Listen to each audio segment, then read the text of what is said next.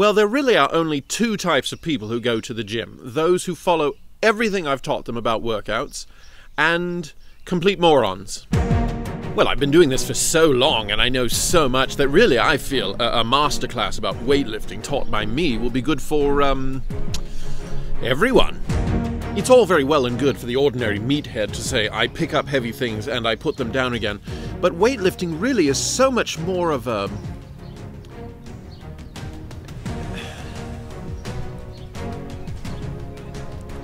of an art.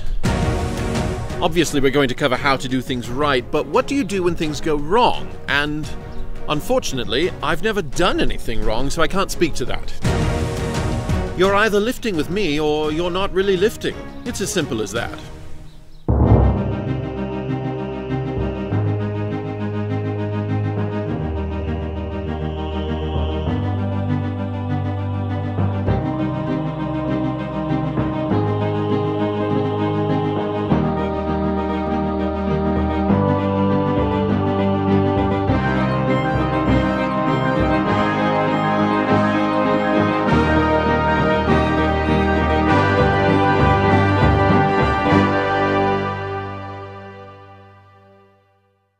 The time has come. The moment that at least one person has been waiting for has finally arrived. It's been over a year since this person contacted me asking me if and when I would create an episode teaching you how to perform a bench press, a deadlift, and a squat, the three kings of the exercise world. And so here we go.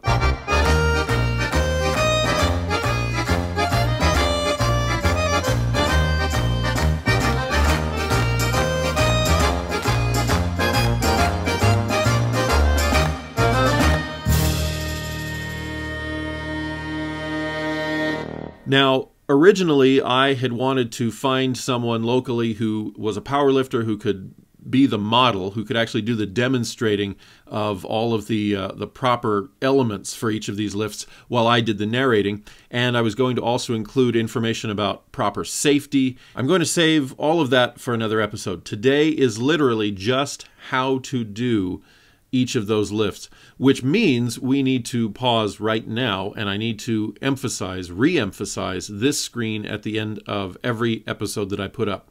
Um, I'm not there training you. I'm not certified by any uh, institution. I did not get a degree in any of this in college. This is information, it is motivation. Um, but you need to be responsible. You need to be responsible for making sure that you are performing each of these lifts safely and uh, potentially checking with your doctor if, if you've never done any weightlifting, if you are not fully aware of your body's capabilities. Um, go get a physical, you know, whatever it takes. That's all on you.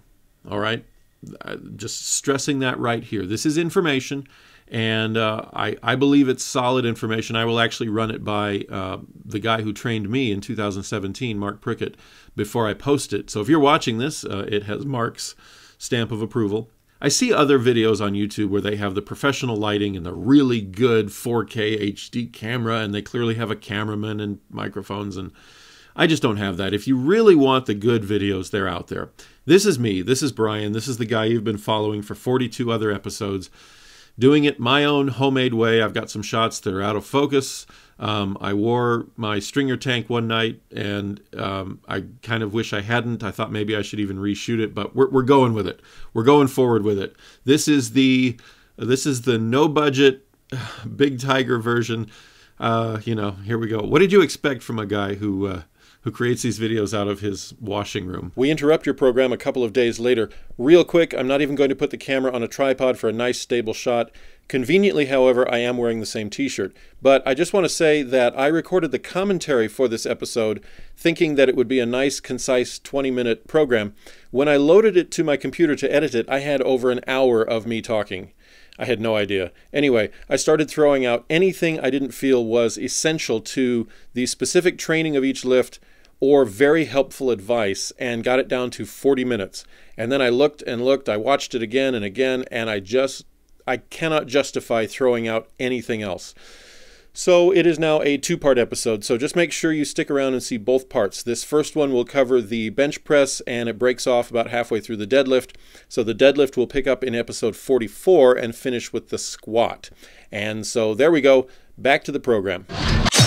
We'll start with the bench press because that's where everyone starts. If you go to a gym on a Monday, you will find half the people there doing the bench press. It's the stereotypical musclehead lift. Every bro out there wants to know how much can you bench? Uh, sometimes Monday is called International Chest Day for that very reason. So we'll kick off with that. It's foundational, it's iconic, and so here we go. Um, I'm going on the information that Mark Prickett taught me, plus uh, some tips that a couple other people threw in, um, and then my own experience based on my height, my form, my skeletal structure, all of that, my build.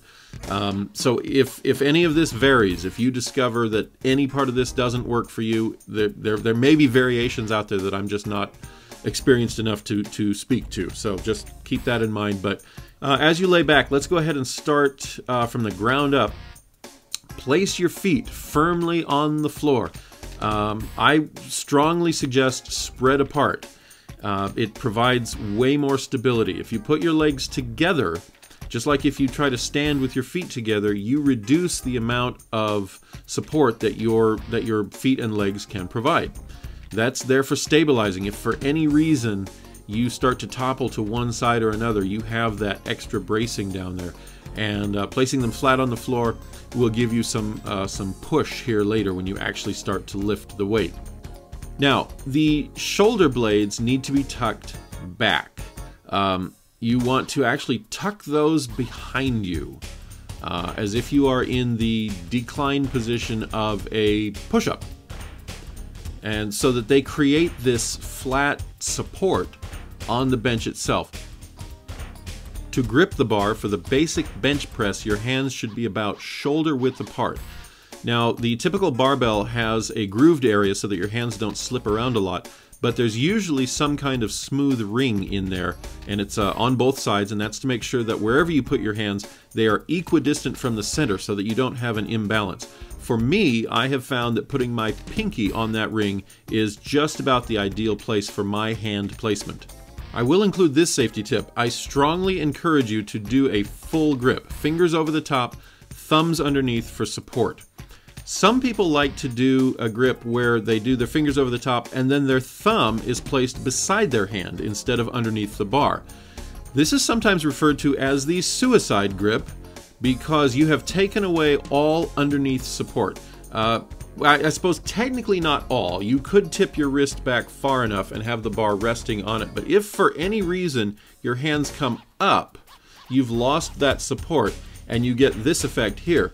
Now, I, I performed that demonstration pretty safely because I just let the bar fall right onto the uh, onto the bench supports. But if you're in the middle of a lift and that is over your chest, that will come straight down on your chest. And if you've got enough weight on that bar, uh, you are going to do some serious damage. And now you're in the position to begin. You're going to apply pressure to the bar, push it up into the extended position, and get ready to do the bench press. All right, let me see if I can put these thoughts in a nice, organized manner. Um, let's start with your breathing, actually, and, and this will apply really to every exercise you do. You want to inhale, get a full set of lungs, get, get oxygen filling the lungs uh, in the easiest position uh, so that you have all of that oxygen going into your system and coursing through your veins and into your muscles while you're doing the hard work. And so uh, I inhale well, first of all, I inhale to get the bar off of the off of the rack itself, especially if I don't have someone there helping me.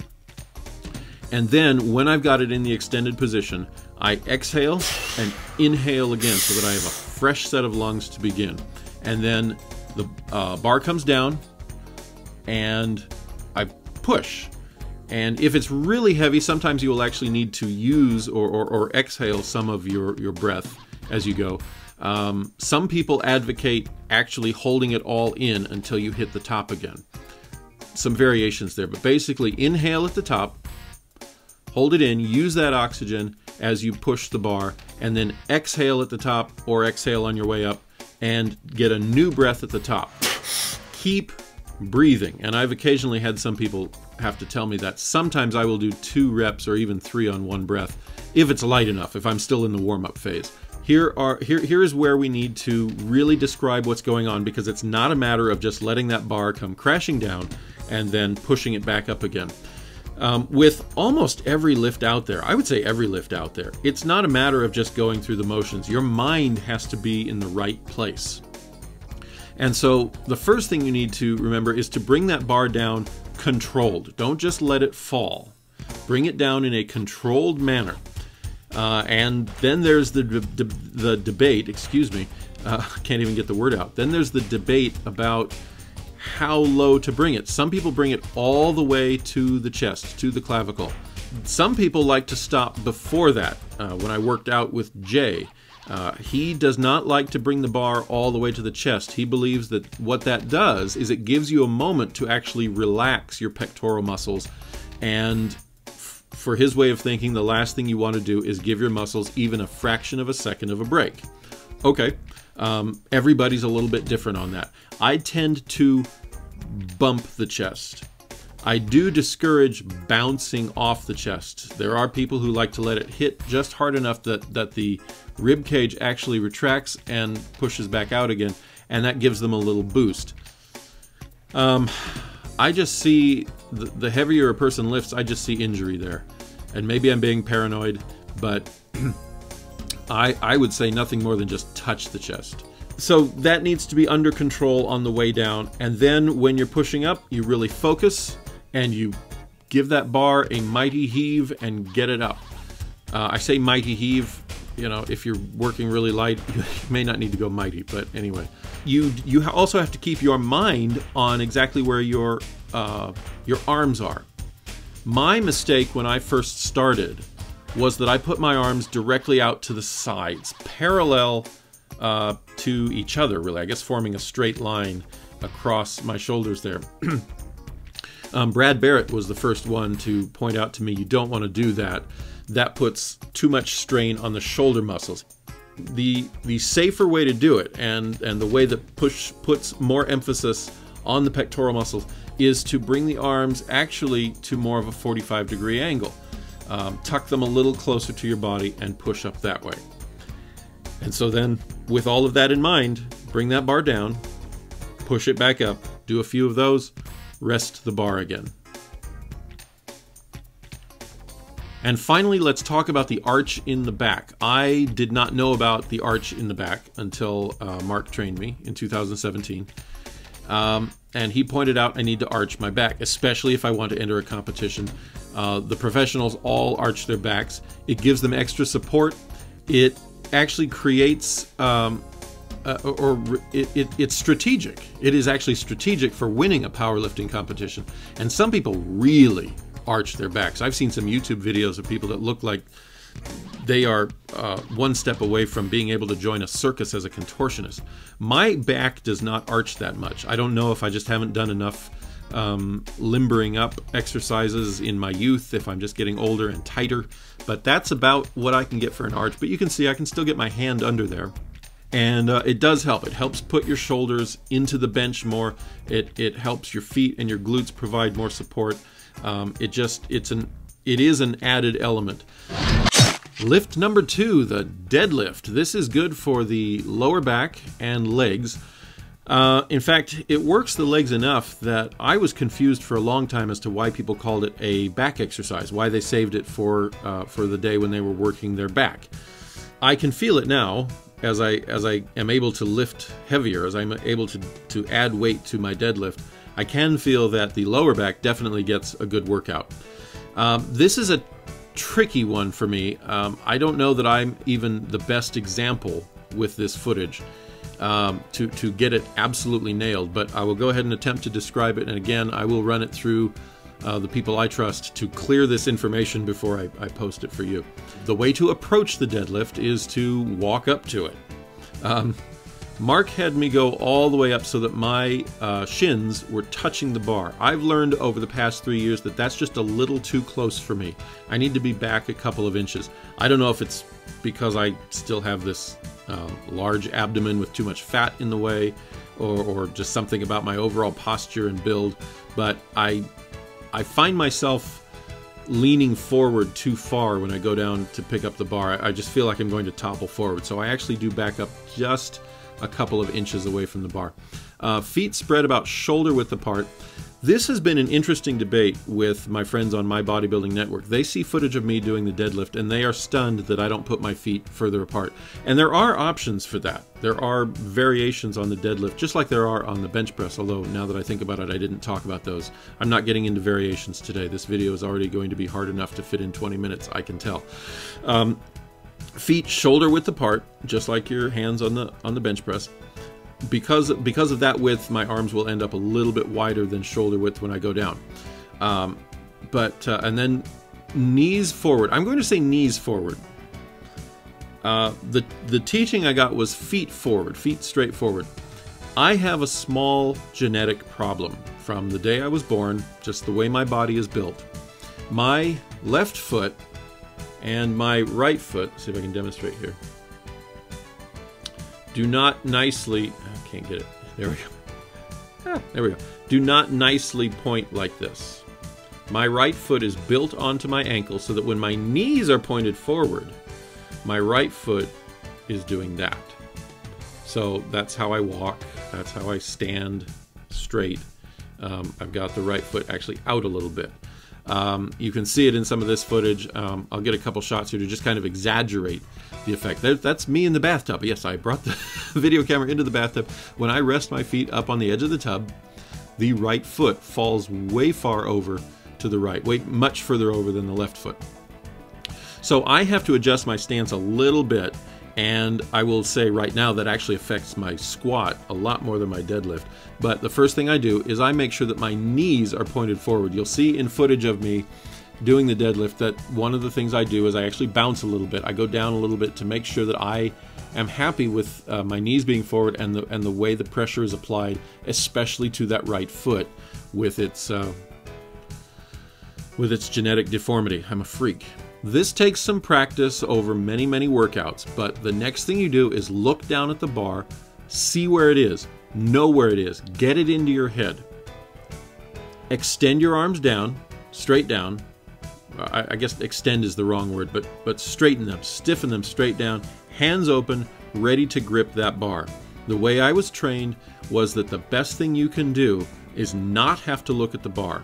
Look straight ahead, know where it is, go down, grab it, and start back up. And we'll get into those details, but that's that's your starting posture. You are ready to go straight down and grab that bar. All right, which brings us up to another debatable point because when I went to a powerlifting meet last year, I noticed that contrary to how Mark had trained me, every powerlifter there, when he approached the deadlift, went down, gripped the bar, and did all of his setting up in the lower position, in the crouched position, making sure his feet were ready, making sure his grip was ready, and then executing the deadlift. So I wrote to Mark and said, "Is this is this something I should be paying attention to?"